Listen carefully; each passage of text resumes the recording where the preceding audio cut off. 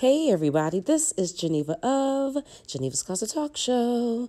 Please make sure you like and share this video and subscribe to Geneva's Closett if you haven't already done so right here on YouTube. And you can follow me on Facebook at what? At Geneva's Closett. And you can email me at Geneva's Closett 22 at gmail.com.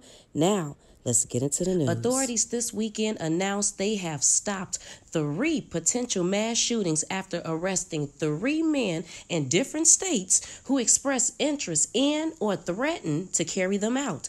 All three cases were brought to authorities' attention thanks to tips from the public. This is what we know about him.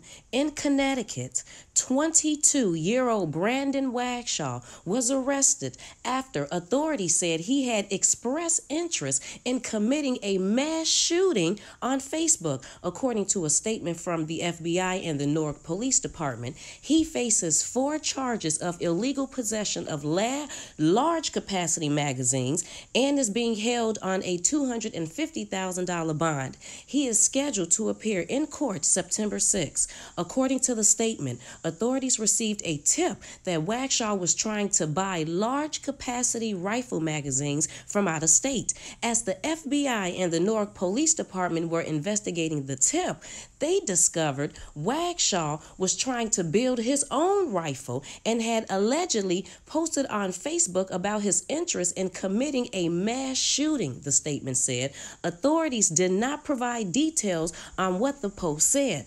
Authorities executed a search warrant at his home and found multiple weapons, including a handgun, a rifle, a rifle scope with a laser, numerous rounds of ammunition, body armor, a ballistic helmet, and other tactical gear, police said. Some of the weapons were registered to Wagshol's father, but he had access to them, authorities said. Second person, Tristan Scott Wicks of Daytona Beach, Florida, was arrested in a Winn Dixie parking lot on Friday just Friday, the other day, today, Monday, just Friday, after he sent his ex girlfriend a series of disturbing texts in which he allegedly threatened to commit a mass shooting, the ex girlfriend alerted authorities. In the messages, the 25 year old said he wanted to open fire on a large crowd of people.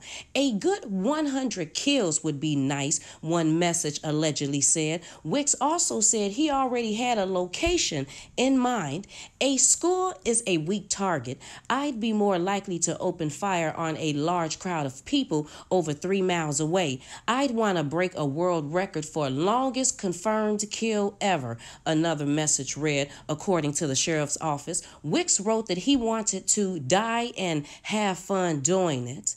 Authorities had recovered a 22 caliber hunting rifle and 400 rounds of ammo in Wicks's apartment. Wicks had initially told investigators he did not own any firearms, but that he was fascinated with mass shootings. Wicks was being held without bond at the Wasilla, if I'm saying that correctly, County Branch Jail. CNN did not immediately determine Sunday whether Wicks had an attorney.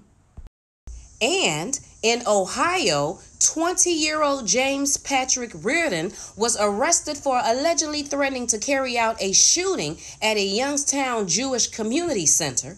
An Instagram account belonging to Reardon shared a video that showed a man firing a gun. The post, which was shown to an officer out on an unrelated call, tagged the Jewish Community Center of Youngstown. It's unclear whether the man shooting the gun was Reardon or someone else.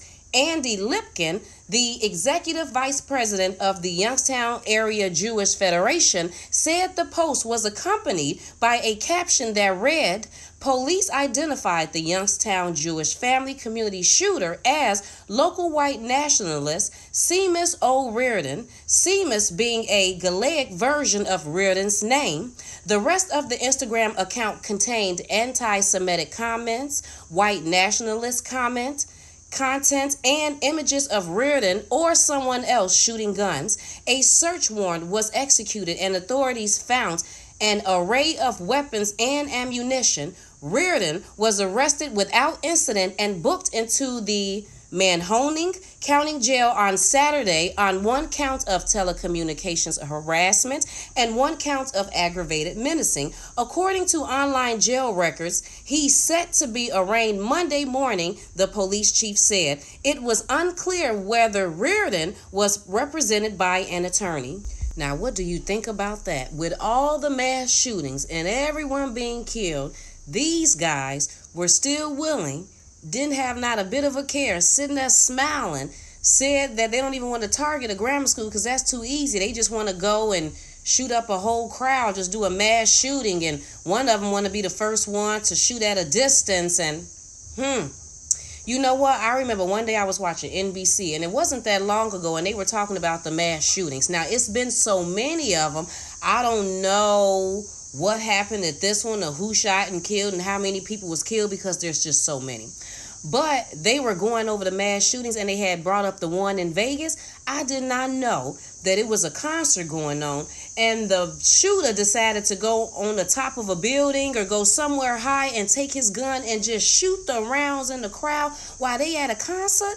See, that's the type of stuff that I'm talking about. You never know when these people are about to pop off and totally lose their mind. You never know when it's coming. So about I guess all we can do because I can get into this whole spill about racism and who doing the shooting and who not doing the shooting. But there's people getting killed, whether it's a mass shooting, a drive-by shooting, just you getting stabbed, walking down the street, getting on the bus, off the bus, in a taxi cab, going to the store. It really doesn't matter. All we can do is pray, pray for the best for us and our family. That's about it because we don't know what we're dealing with. You can be at a concert, you can be in Walmart grocery shopping, have no idea that this person is upset because Walmart fired them, Walmart didn't give them the discount that they felt like they were supposed to get.